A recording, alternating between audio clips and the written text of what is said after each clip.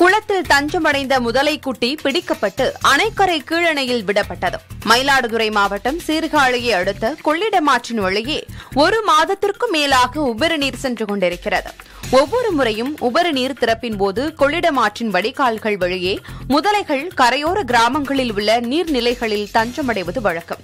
அதேபோல் தற்போது சோதியக்குடி கிராமத்தில் உள்ள பாப்பா குளத்தில் கடந்த இரண்டு நாட்களாக முதலை குட்டி ஒன்று இருப்பது தெரியவந்தது. இதனையடுத்து சீர்காழி வனத்துறை மற்றும் கொள்ளிடம் காவல்துறையினர் முதலையை பிடிப்பதற்கான பணிகளை துவங்கினர்.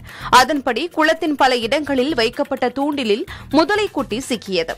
மீட்கப்பட்ட முதலை குட்டியை பாதுகாப்பாக வனத்துறை அதிகாரிகள் அணைக்கரை கீழணையில் விட்டனர்.